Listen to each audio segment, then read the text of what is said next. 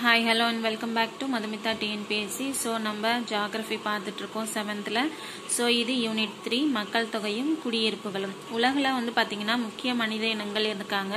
Caucasoid அப்படிங்கிறவங்க ஐரோப்பியர்கள் யுரேஷியாவிலையும் அவங்க வாழ்கிறாங்க நீக்ராய்டு அப்படிங்கிறவங்க ஆப்பிரிக்கர்கள் மங்களாய்டு அப்படிங்கிறவங்க ஆசியர்கள் இவங்க வந்து ஆசியா ஆர்டிக் பகுதியில் வாழ்கிறாங்க ஆஸ்ட்ராய்டு ஆஸ்ட்ராய்டு அப்படிங்கிறவங்க வந்து ஆஸ்திரேலியா ஆசியாவிலையும் வாழ்கிறாங்க மனித புவியியல் அப்படிங்கிறது மனிதன் மற்றும் அவற்றின் சுற்றுப்புறத்தின் இயற்கை சூழலோடு படிப்பதே ஆகும் அப்படிங்கிற இந்தியாவில் பார்த்தீங்கன்னா இந்தியாவில் இருக்க இனங்கள் வந்து வட இந்தியாவில் வந்து இந்தோ ஆரியர்களும் தென்னிந்தியாவில் திராவிடர்களும் இருக்காங்க.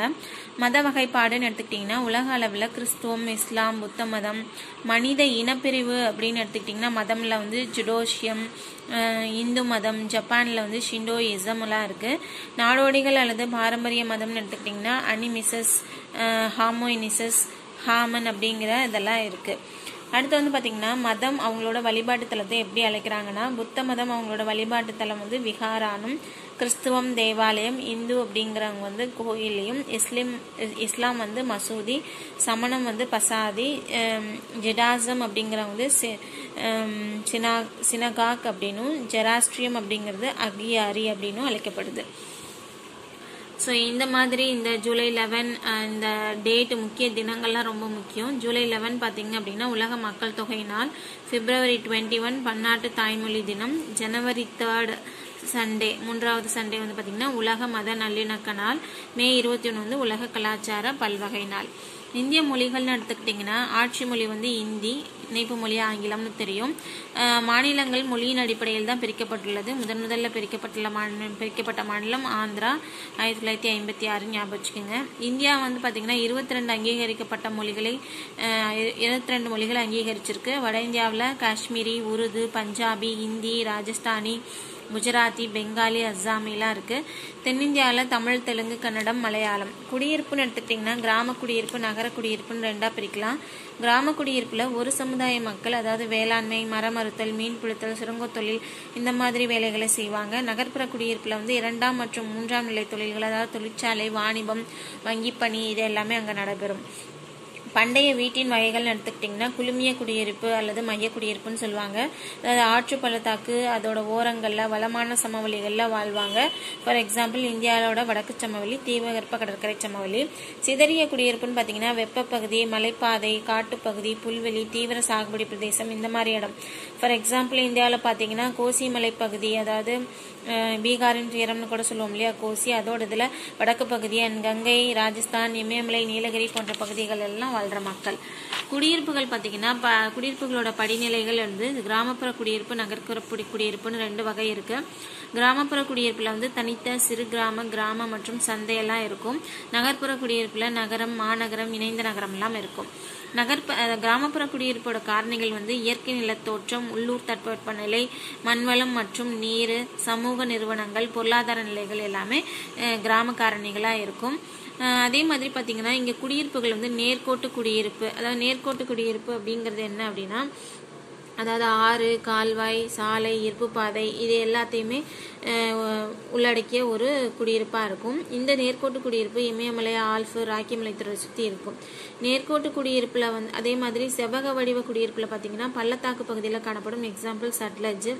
வட்டமான குடியிருப்புனா ஏரி குளம் அதை சுற்றி இருக்கும். நட்சத்திர வடிவம் அப்படின்னா பஞ்சாப் ஹரியானா சிந்து கங்கை. அதாவது பார்த்தீங்கன்னா ஒரு வழி வந்து எல்லா ரூட்டையும் இணைக்கிற மாதிரி இருக்கும். இங்கே இடையில இடையில இடையில ஊர் இருக்கும். அதான் நட்சத்திர குடியிருப்பு அப்படிங்கிறது.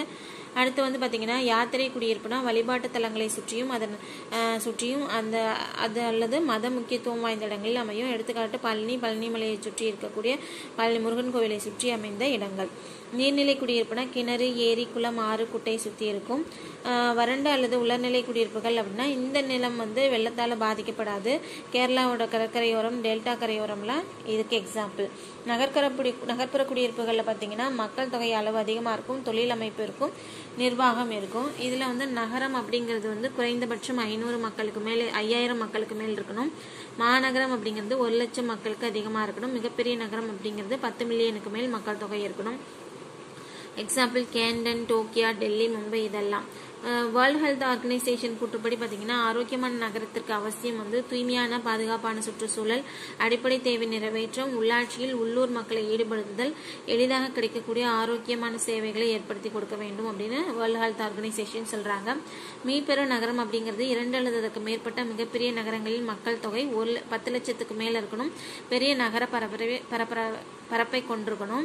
எக்ஸாம்பிள் பாஸ்டன் வாஷிங்டன் இடையில இருக்க பகுதியெல்லாம் பார்த்தீங்கன்னா மீபெரும் நகரங்களைச் சேர்ந்தது. இந்தியாவில் வந்து கல்கத்தா குஜராத்தில் இருக்க காந்தி நகர் சூரத் வதோரா ராஜபுதனம் இதெல்லாம் இணைந்த நகரம் அப்படிங்கிறது. மாநகர் பெரிய நகர் சில நகர்ப்புறம் எல்லாமே சேர்ந்தது இணைந்த நகரம். ஜெர்மனியில் இருக்க ரூரு நெதர்லாந்தில் இருக்க ரெயின்ஸ் டாட்டு இந்தியாவில் இருக்க மகாராஷ்டிராவில் இந்தியாவில் மகாராஷ்டிராவில் இருக்க மும்பை ஹரியானாவில் இருக்க குர்கான் ஃபரிதாபாத் உத்தரப்பிரதேசில் இருக்க நொய்டா இதெல்லாமே இணைந்த நகரங்களுக்கு எடுத்துக்காட்டு. செயற்கைக்கோள் நகரம் அப்படிங்கிறது வந்து இவங்க வந்து நகர்ப்புறத்துக்கு கொஞ்சம் வெளியில் பெரிய பெரிய அடுக்குமாடு கட்டிடங்களாக கிரியேட் பண்ணுறது தான் செயற்கைக்கோள் நகரம்.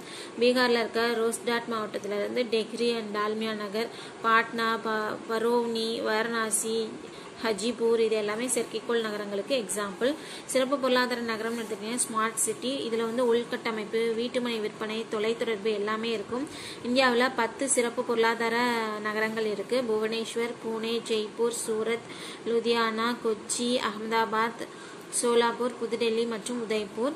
அதே மாதிரி தமிழ்நாட்டில் பன்னிரெண்டு சிறப்பு பொருளாதார நகரங்கள் இருக்கு. சென்னை மதுரை திருநெல்வேலி திருச்சி தஞ்சை திருப்பூர் சேலம் வேலூர் கோவை தூத்துக்குடி திண்டுக்கல் ஈரோடு இதெல்லாம். சரிங்களா?